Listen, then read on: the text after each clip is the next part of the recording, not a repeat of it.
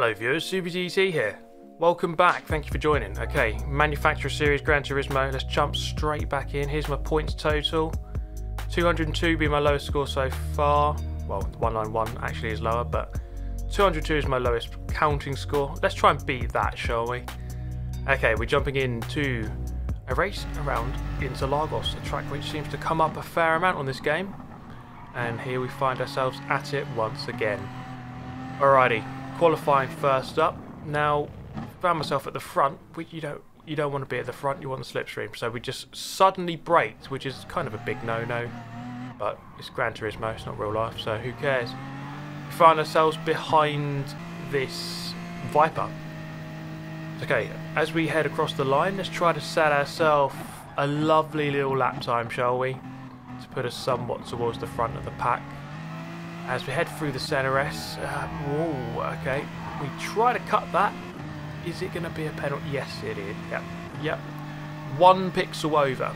But, well, you can't go over the limit, can you? Luckily, there was just about enough time to go back into pit lane and head back out onto circuit for another lap. And I found myself behind a fellow BMW user, so there shall be no indication in this following clip. Uh, but at the end of the lap, well, he just drove away from me. It wasn't a great lap at all. 1.4 seconds off the lead.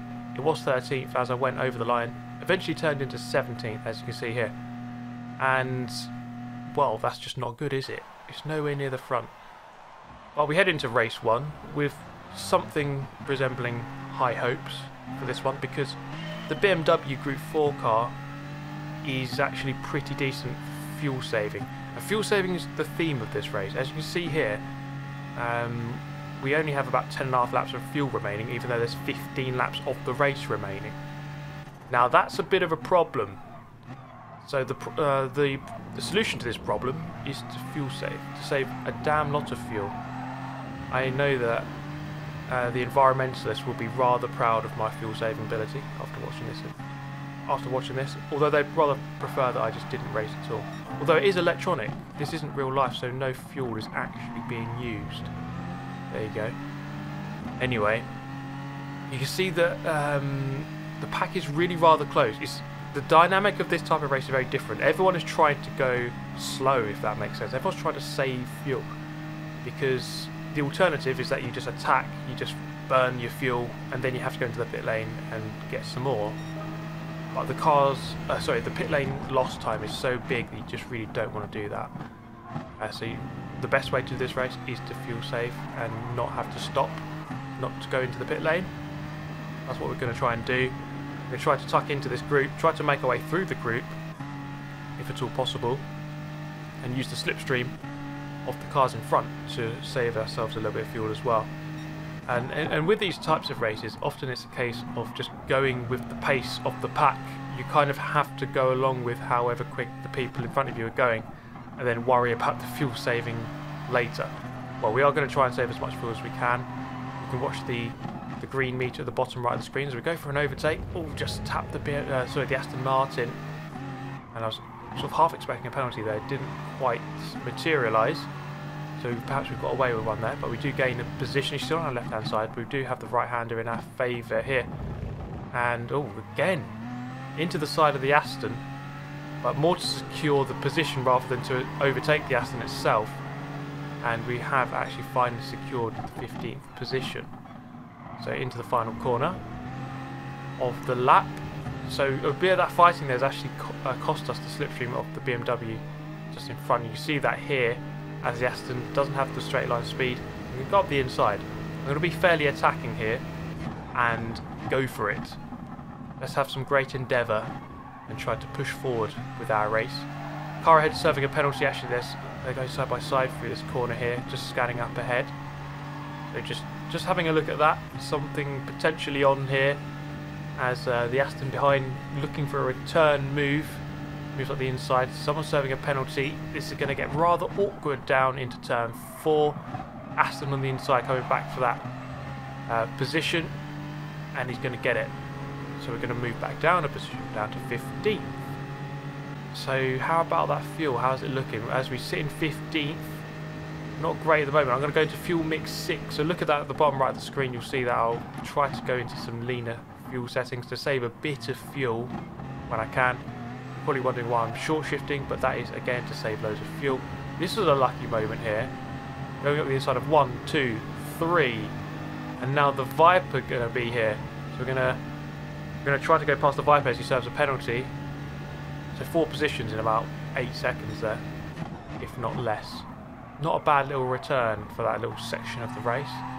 As we are on, what are we on? Lap 5, up into 11th. Started 17th and gained six positions thus far. But you see a lot of this fighting has caused us to drop off the group in front. And um, I had to attack. This is the problem. If you want to move forward, you have to you have to burn your fuel. You have to use a lot of fuel. And I did manage to burn a lot of fuel, but also get onto the back of the Ferrari, go past them, up into 10th. But um, at what cost will this be at? This is the question. Will I have burnt up too much fuel? Will I run out of fuel? These are eternal questions for our ages. As we cross the line to begin lap number 8, um, you see there I've burnt already more than 50% of my fuel and we're not quite 50% into the race. So that is a bit of an issue, if I must say so myself. And quite a big group up in front, but quite a big gap to that group. So things aren't looking good. So this Aston Martin, once again coming back, I'm not going to fight him. Sometimes it's best just to let them go. You can sit in the slipstream, save a bit more fuel, and let them burn their fuel instead. So we're going to do exactly that. Any cyclist enthusiast among you will kind of understand this. You know, sitting behind in the slipstream. It's the same concept, really. fellow BMW user goes through. Now, by this point, it was clear that I had attacked way too much too early. Too much too soon, young son. And I now just had to go on a fuel-saving retreat and um, bring it home, or at least try to. And, well, I just go and do that, don't I? Go and get myself a silly penalty although there's a bit of a gap behind. Sat here in a rather, well, I was going to say uncomfortable, 12th. The, the group behind is quite close. So you can see here, going into lean mix 6 through this infield section, through the corners. You don't really need as much power through this corner section, so you might as well just try to save a bit of fuel through here. But it's on the corner exit where you want to kind of go back into a leaner setting, although I'm keeping it in 6, that's how desperate my current situation is. As um, I have cars bearing down upon me, this Mercedes. Case in point. So, lap number 15 now. Can I save enough fuel? Well, I've, I've only got 4% of fuel left. Oh, and I, I'm an idiot. I got myself a penalty. And that is not going to help me at all. I've only got 2% of fuel left now. 0% as we come across the line. In fact, we are pretty much going to run out just before the line. You see I'm slowing down. And then when once you add on that one second penalty, back to 15th. Really disappointing. Really, really disappointing. It's a Viper that wins the race. Where's that? Where did that M4 finish? About 7th or 8th. Uh, so the BMW does have potential, but I just did not unlock it at all.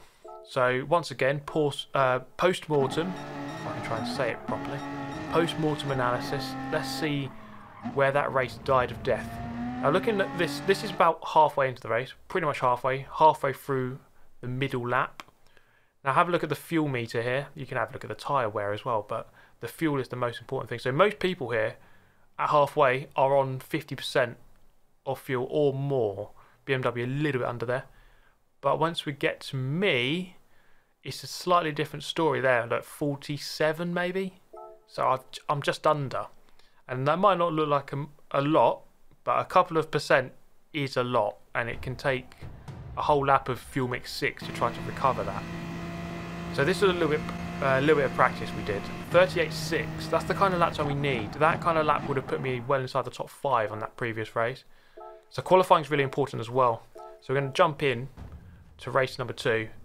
Now, of course, in any sort of racing, if you make an absolute hash of a race, you try and learn from it and I made an absolute hash of that previous race, so I'm going to try and learn from it. And we return here,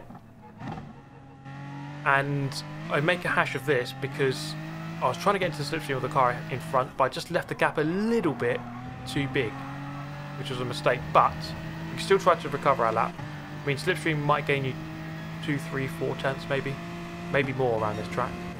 But as long as we can just try to set a, a nice clean lap time, then it hopefully won't matter too much. But we'll see. Through the Senna S, let's try not to get a penalty this time. So being a little bit uh, more conservative with our line that time, just to make sure we don't get that penalty. Down the hill towards turn number four. Coming through here quite nicely. If I can just get into the slipstream range of the, the Mustang ahead, then that'd be great uh, onto the back straight. So I can still make the most of some slipstream. So the potential here, uh, the potential is there. Just need to make sure that this infield is a good infield, and then we're onto the back of him at the end of the lap. That would be great. So through this corner, just coasting, and then back on the power, nice and early onto the curb, back over to the left, and then this corner is really just about rotation. Try to get that car turned, and then on the power, stamp on it, back over to the right to give yourself a better angle of entry into this long left, and then up into the final corner. Crucial one this, because it leads out to such a long and uphill straight. Have I got close enough? Probably not. The guy in front is setting a really good lap time there. Let's see how we've done. Just crossed the line. So up into third. In fact, the guy in front was the quickest guy. So I've got myself right behind the, the correct person. I just didn't quite get close enough. And perhaps if I was in the slipstream, that could have been a pole position right there. So that's the difference. Um, but still a, a, good lap and a lot better than 17th, which is what we managed on the previous one. Uh, so fourth at this point here. A couple of people still yet to finish their lap, so we could drop, and we do. Down to seventh. Okay, a little bit disappointed to drop some positions, but uh, we're in a much better position. I'd much rather take seventh than 17th. And I, am sure you'd agree with me on that one. Okay.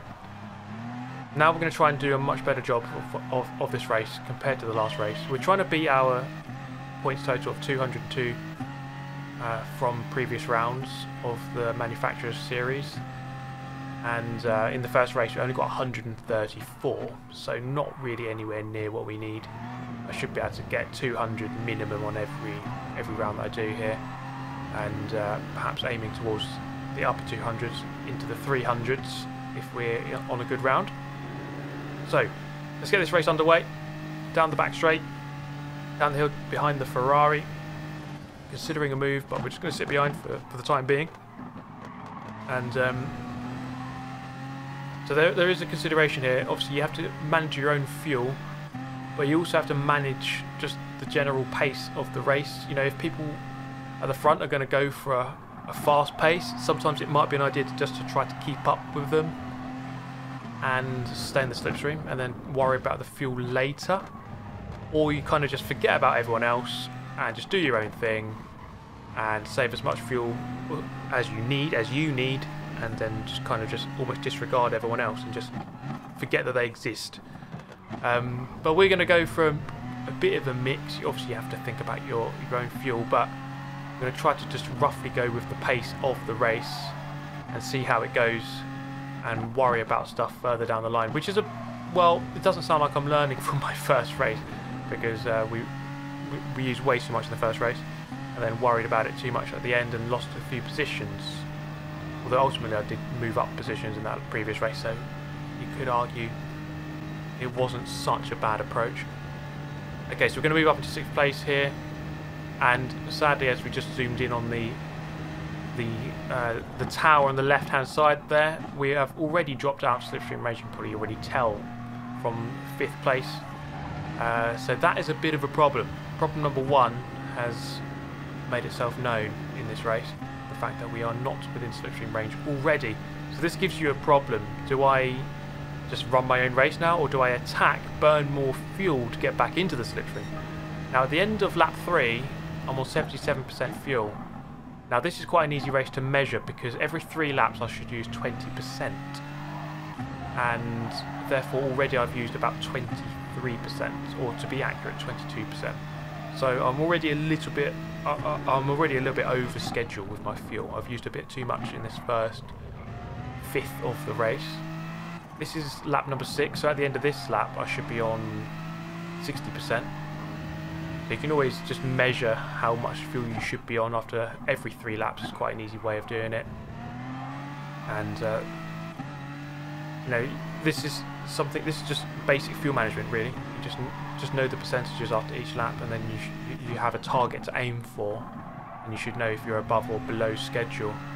At this point, we are well, the percentage is below schedule. We've used too much fuel at this point in time. And across the line we go. At the end of lap 6, you see that I'm on 54, 53%. Okay, so I should have been on 60, or 59 to be absolutely precise. Um, but so I'm, a good 5 or 6% below what I need to be on. And, well, that spelt trouble for me in the previous race. But I am now in the slipstream. This is the thing, it's like the guys in front are setting quite a fast pace, so I'm just wondering, are these guys not bothering with fuel saving? We're all in the same boat, so hopefully, uh, well, we might be in the same boat here, so this could work my way, I'm not sure. Um, so the McLaren in the lead, sorry, not the McLaren, the, uh, the Ford Mustang in the lead, uh, burning quite a lot of fuel, going for quite an intense pace, already on 32% fuel, that guy. Uh, so he goes into the pit lane, and we can see how much time that costs you because you just, as we said earlier, you don't really want to go in the pit lane here. Just you, you lose too much time doing it. And um, uh, courtesy of that, we move up one position, and and now we're sat in uh, fifth. So this is exactly halfway into the race, and I'm on 44%. So I'm probably at, I'm actually in a worse situation, I think, than the first race. I think in the first race I was probably on about 47. Here, 44. Uh, so this pace is a lot more intense than the, than the previous race. Um, so we're going to have to worry about this fuel at, at, some point soon because we're in the second half of the race now. I've already burnt 57% in the first half, which leaves me only 43% in the second half.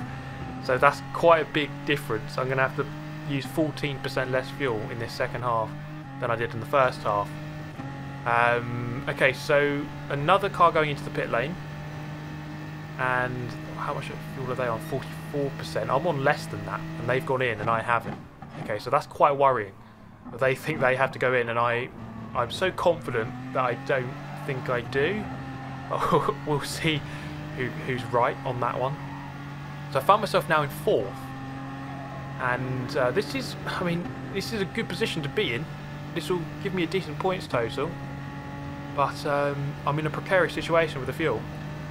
Uh, drinking game for the word fuel, and if you want to rewind the video and play again, you're probably absolutely slaughtered by this point. But, um, right, lap number 10. By this point, right, I just decided I'm not going to try to stick with these guys. I'm, you know, I'll let them go. I'm not going to try and stick with their pace. I'm just going to do my own thing now and just try to hope that I can make it through to the end. So you can see here, going into lean mix 6, so a lot of lean mixtures here being utilised in this final third of the race, or this final half of the race, just to make sure that we can bring it home. So what was it on lap, or, or halfway into the race, we were about six percent um, below schedule with our fuel. So I have to bring back six percent. I have to utilise fuel mixture, the absolute short shifting. I have to really short shift. Now this car can be short shifted quite a lot because it's got seven gears so you might notice the rev gauge barely, barely being engaged and uh, before I go up a gear. But this car is actually not too bad for that. Uh, it goes quite well when you short shift it. So across the line we go at the end of lap 10. So that's two thirds into the race. So I should have 33%, but I had less than 30. So we are still five or so percent under. Um, so the thing we have to manage here is the gap to the cars behind, which is about three seconds at this point in time. And by this point here, this is lap number 13. Only three laps to go, or less than. The gap is only two seconds. Two seconds, and you know that might seem comfortable, and normally it would be in a race where you don't have to worry about fuel, but in a race where I am using lean mix 6 I mean a lap around here on lean mix 1 compared to lean mix 6 is probably about 2 seconds so I've just got to hope that the guys behind are also trying to burn fuel desperately as well. And you never know. I think that um, GGA Fonseca, who is the guy behind in the Audi TT, he didn't start fourth, he started quite a lot further back. So by having to come through the pack like I did in the first race, uh, you, you have to burn quite a lot of fuel. So I'm just hoping that he's actually burnt quite a lot of fuel as well and has to do quite a lot of management now. Uh, so he has a group with him. He has about two, three cars behind him who he's towing along. So any one of those could spring a surprise and come for the attack here on the last two laps. So I've done a bit better now on the fuel. Um, almost two laps remaining off fuel with two actual laps remaining in the race and 12% of fuel remaining to go. So things are looking a bit better, but still not ideal. This is the decision you have to make at this point in time, which is do I save more now and have a little bit in reserve so that if I get into a fight on the last lap, I've got some fuel to actually fight. You don't want to be a sitting duck on lean mix 6 on the final lap with the guys hunting you down and trying to go for a move. Because if I'm on lean mix 6, there's nothing I can do. I'm going to have to like basically let them go through. So I'm going to save a bit more now if I can. The thing I don't want to give them is a slipstream. So as soon as they have the slipstream, then they're going to save even more. And I'm not going to save any. Uh, so coming into this section, we're going to lean mix 6.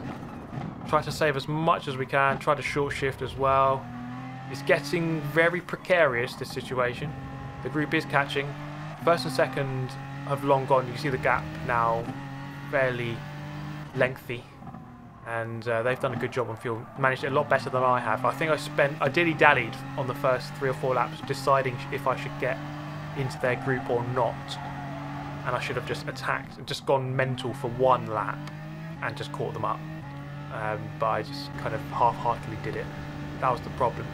So with one lap to go, I actually have one lap of fuel remaining technically with 6%, but let's not forget of course that 0% also counts, so I technically have 7% left. So this is looking okay. The gap is still 2 seconds, and I think that the, the charge of Mr. Fonseca there has slowly died down. By laps of 9 to 12 he was really gaining on me very quickly. But then I think he over, overworked himself and demanded far too much from his car. And fortunately for me, that was enough to just about secure a beautiful and sens a sensational podium in a fuel saving race. Now I'm rather well known for running out of fuel far too early. I mean I did it in the first race. But learn from your mistakes kids and you shall reap the rewards in life. And we're going to do that. Look, crossing the line with 0%. Absolutely perfectly timed. We've done it. Absolutely get in there, Lewis. So we finished third. That's a good result. I'll most certainly take that. And um, we're going to bring home a fairly decent score of how many points? 285. I'll take that. But that's the end of this one. Thank you so much for watching. Do drop a like if you did enjoy. I'll catch you next time. Thanks for watching. Goodbye.